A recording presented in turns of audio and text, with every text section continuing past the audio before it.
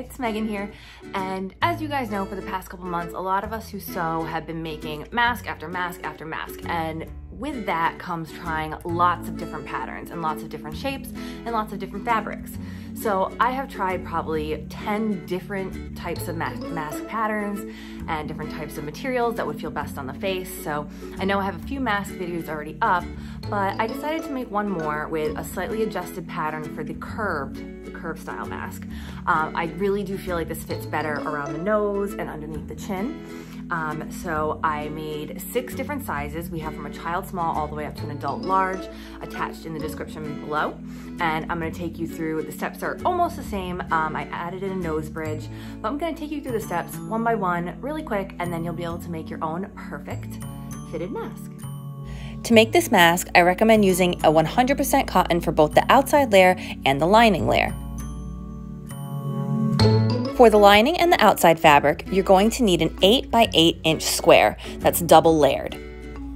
You will also need either 7 inches of 1 quarter inch wide elastic or a shoelace to tie the mask around your face. As you can see here, I already printed out my pattern from the description box below and I'll be using an adult medium.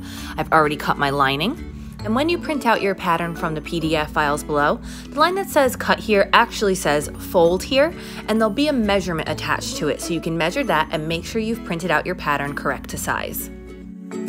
So one of the biggest questions I tend to get in the comments or by email is how do you actually find the pattern link? Um, YouTube has recently kind of changed the formatting of their description box and it makes it a little bit harder to find. If you're on a laptop or a desktop, you want to scroll down beneath the video and find the little words that say show more. That's how you're going to be able to drop down the rest of the description. Once you've got the description box open, scroll down a little bit. Usually underneath the supplies, I have a um, link for the pattern. And while you're clicking around there, if you haven't already, you can very easily subscribe to the channel by clicking the red YouTube button in the corner. Now, if you're on a phone or an iPad, finding that description box can be even more tricky. So I want you to look at the screen and find that little drop down arrow that my big blue arrow is pointing to. You're gonna click on that arrow and the description box will drop down below. And once you find the description box, just scroll down underneath the supplies. There will be a PDF link to the pattern. Now that you've got your pattern all printed out, let's go ahead and start cutting. I've got my fabric folded in half and I'm going to place a pin at each of the corners to prepare to cut around my pattern. Each of the different pattern sizes has a grain line drawn towards the front curve. This will help you line up your pattern if you have any kind of directional print with the fabric that you're using. Here's a quick tip if you're new to sewing. You want to buy one pair of nice scissors and save them for all your fabric cutting because anytime you use a pair of sharp fabric scissors on paper, it will dull them and it will make cutting out your fabric a lot harder and make it less accurate. Now that I'm finished cutting and I'm going to take the two pieces of fabric and place them side by side, you can see I made sure to fold my fabric so the two patterns are a mirror image. Take the two pieces that you just cut out and place them touching print to print. We're going to place about four pins right along that front curve of the mask. And now let's do the same to our lining fabric. The first sewing step we're going to do is to sew that curve at a quarter of an inch. Heading over to our sewing machine, we're going to sew the entire curve at a quarter of an inch, or basically have the right side of the fabric lined up with the right side of the presser foot. I'm also using a straight stitch with a length of 3. For this step, I used an aqua colored thread so it would really pop against the fabric and you'd be able to very easily see where I sewed. But I'd strongly recommend using a color that matches your project finish the seam, we're going to take the scissors and cut some small pie slices out of the seam allowance, so that way it bends easier once it's in the mask shape. I placed pie slices in both the lining and the outside fabric. I've preheated my iron on a cotton setting with the steam activated. I'm going to press the front curve of the mask with both the lining and the outside layer. Once I press the curve from the inside, I fold it back in half and give it one final press. Remember that line on the pattern that says fold here? Well, we're going to take the edge of the lining and fold it approximately a half inch once and then a half an inch twice and press it in place. The lining should now be folded where indicated on the pattern. Let's take her over to the machine and sew those fold lines in place. Again, we're using a straight stitch with a length of three. And the reason we're stitching these in place is to create a pocket for our filter when our mask is completed. If you're new to my channel, one thing I always like to impress on everybody is to make sure that you adequately press your project. It will really up the professionalism value at the end. So I'm pressing these folds just one more time to make sure they're nice and crisp. With my lining all pressed, I'm ready to join the outside layer and the lining layer. I'm gonna take that center seam of the lining layer, flip it right side out, and line it up with the center seam of the outside layer. Place a pin at both the top and the bottom of that center seam through both layers of the mask. Hopefully now you can see that we're lining up the bottom line of the mask as well as the top line of the mask. So I'm gonna put a few more pins in place because our next step is to sew both of those edges together.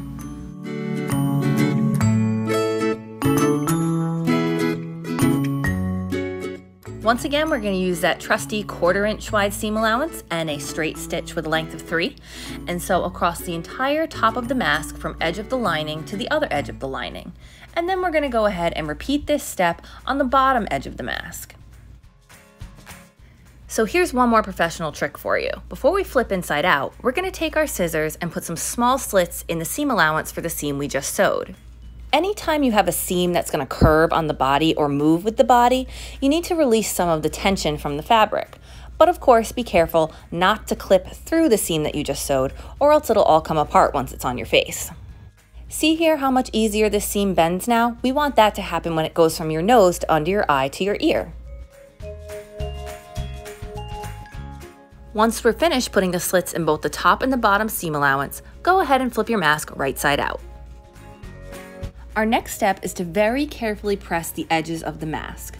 We want to make sure that both the lining and the outside fabric are even and neither one is rolling towards the inside or the outside. You're also going to take that extra fabric that's the outside of the mask and take the edge and press it up a quarter of an inch. Keep working your way around all the edges of the mask. You want to go across the entire bottom and across the entire top. And your goal is for that lining to sit flat inside of your mask. If you sew quite often like I do, you'll know there's nothing better than when a project presses up perfectly and it's nice and crisp. And once we feel like we've finished pressing the edges, we're gonna fold it in half one more time, making sure that lining is pressed nice and smooth towards the inside curve and give it a final flat press. You can see now that our mask is really starting to take shape. Our final pressing step here is take the extra outside edge and fold it in a quarter inch and then a half an inch and press it flat. This is gonna create the casing where we're gonna put either our tie or our elastic. Once it's pressed, we're gonna take it over to the sewing machine and we're gonna sew right along the fold, right where I'm pointing here. Using our trusty straight stitch, we're gonna stitch close our casing on each end of the mask. And now it's time to insert our nose bridge. I bought these on Etsy and they're sticky on one side. You can see that I marked the center so it's easier for me to place them inside of the mask. I like to place the nose bridge on the inside layer of the mask. One thing I will say about this type of nose bridge is you do have to be gentle in terms of constantly unfolding and folding it.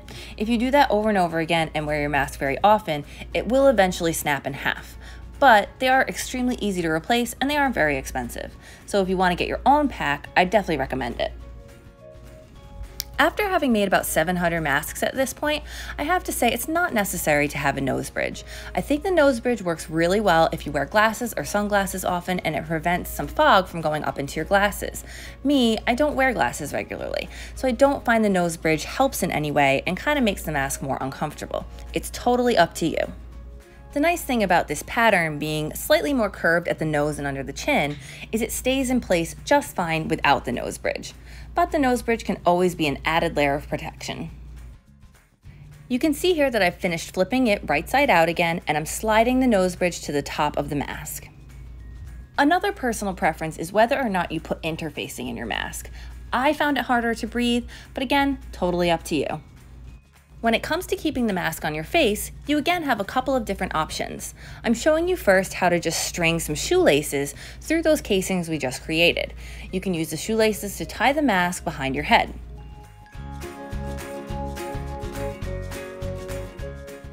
But now I'll show you my more preferred method, which is to use a piece of quarter inch wide elastic.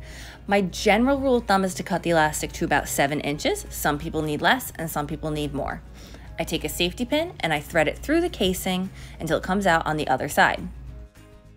Once you've got the elastic worked through both sides of the casing, you're going to take it over to the sewing machine and close the elastic with either a zigzag stitch or use a hand sewing needle to sew it closed. But just make sure that it's really strong, so that way you don't have to worry about the elastic snapping once it's on your face. Our last step is we're gonna slide the elastic loops so that little knot where it's sewn together is hidden inside the casing. And congratulations, your mask is all done. But wait, I've got a special bonus before we move on to our fit test. I've got another video on my channel where I show you how to make an adorable pouch that can attach to your keyring where you can keep your mask, so that way, in case you forgot one, you've always got a spare on hand. Okay, so here we are at the end. Here is our mask. It's got a lining on the inside. We've got our nose bridge. And I'm gonna show you really quick how this fits on my face. That way you can kind of see, this is an adult medium, how an adult medium would fit on, I, I mean, I consider myself average. I'm not really 100% sure what average is. So we're gonna go here. See, goes right around my ear.